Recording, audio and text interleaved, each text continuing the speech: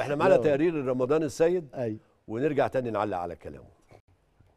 خالد جد الله كان من النجوم الكبار اللي موجودين في خط وسط مصر والنادي الأهلي الحقيقة. طبعا لعيب من اللعيبة المواهب الكبيرة جدا جدا اللي جت في تاريخ الكرة المصرية الحقيقة. يعني خالد كان بيمتاز كان بنتكلم على الامكانيات القوية جدا اللي عند خالد جد الله الحقيقة. اولا كان playmaker على مستوى عالي جدا. في حتة صناعة اللعب والتحكم في رتم اللعب كان من أكتر اللعيبة أو من أقوى اللعيبة اللي كان بيسددوا في مصر. يعني لو بنعد مثلا آه، هتلاقي عدد قليل قوي من اللعيبة اللي بيسددوا بقوة الحقيقة وبيسددوا بدقة كمان. خالد كمان كان بي- بيحرز أهداف الحقيقة من التسديد ومن الحاجات اللي هو كمان من اللعيبة كمان اللي عندها كرة عالية جدا جدا جدا. بيعرف يربط مع الناس اللي قدامه بشكل يعني هايل الحقيقة. لا خالد كان من اللعيبة ال- ال- النجوم اللي جت في تاريخ الكرة المصرية الحقيقة. يعني ممكن اللي يبقى قريب منه آه، قفشه.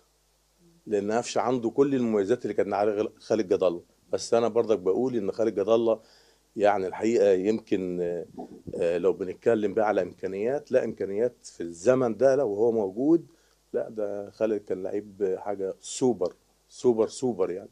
لكن هو فعلا قفشه قريب منه في حتة صناعة اللعب ال playmaker يعني بيسدد كويس آه، قفشة. آه، حتة ال- آه، صناعة الأهداف. كل الحاجات دي الحقيقة يمكن كانت في خالد بس خالد أنا في رايي كمان إن كانت على أعلى كمان لأن مفيش حد جه في مصر بيسدد زي ما هو كان بيسدد الحقيقة. وكان بيسدد كمان من مسافات بعيدة جدا 40 ياردة و30 ياردة و35 ياردة والكرة بتطلع فيها دقة وقوة. يعني من اللعيبة القليلة قوي اللي جم في تاريخ الكره المصرية الحقيقة كان عنده دي. يعني كان بيسدد من مسافات بعيدة جدا وفي نفس الوقت في دقة. فأعتقد إن خالد يعني لو موجود في الزمن ده كان أعتقد كان يتقيم تقييم مادي ومعنوي وكل حاجة بشكل كبير جدا جدا جدا جدا.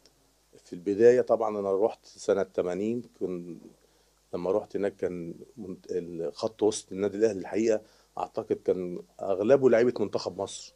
يعني كان في مختار وخالد جد الله اللي هو زي ما بنتكلم عليه دلوقتي النجم الكبير جدا الحقيقة وعامر وكان في صفوت وكان في الحقيقة مجموعة من من النجوم موجودين في خط وسط. علاء ميهوب طبعا علاء ميهوب كان لسه طالع الحقيقة.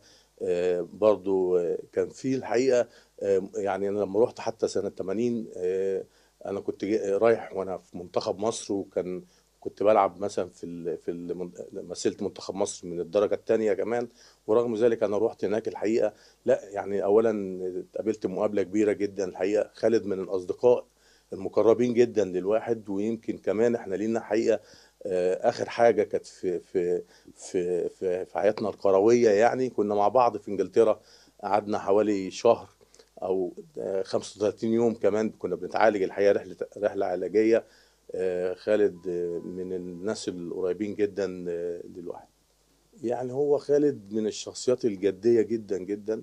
كان يعني أولا يمكن في تمرينه وفي مبارياته آه، خارج الملعب الحقيقة من الناس اللي, اللي تعتمد عليها في كصداقة وكأخ وحاجة جميلة الحقيقة خالد. يعني من الناس اللي مرت عليا في من لعيبة النادي الأهلي أو لعيبة منتخب مصر أعتقد من الناس القريبين جدا للواحد هتقول إيه لريمو حبيبك؟ رمضان حبيبي طبعا وأشكره طبعا على الكلام الحلو اللي هو قاله. وعلى فكرة برضو رمضان السيد من اللعيبة اللي يعني أقول إيه من أمهر اللعيبة اللي جت على مستوى مصر في نص الملعب. طبعاً، لعيب جامد طبعاً. جدا ولعيب يمكن كان سابق آه وقته. يعني رمضان آه اولا طبعا على المستوى الأخلاقي حاجة أكتر من أخ وأكتر من صديق. على مستوى ال- الفني آه يمكن آه كان يستاهل ياخد أكتر من كده. من ناحيه من من النجومية لأن هو لعيب كبير جدا آه، إمكانياته كبيرة جدا زي ما اتكلم عليا وكان برضو شايف الملعب بشكل كويس جدا ولعيب هداف بيجي من تحت لقدام صناعه اللعب والتصويب وبيعرف يجيب اجوان ما كانش في حاجة ناقصاه بصراحة. أشكرك جدا يا رمضان على الكلام الجميل وأنت أخ فعلا وفعلا سافرنا مع بعض إنجلترا قعدنا تقريبا شهر ونص نتعالج هناك. آه، ورمضان برضو يعني من المدربين الكويسين قوي قوي قوي اللي موجودين في مصر. أنا أتمنى أشوفه في في في يعني في الدوري الممتاز أشوفه لأن هو يستاهل يستاهل بشكل كبير يعني.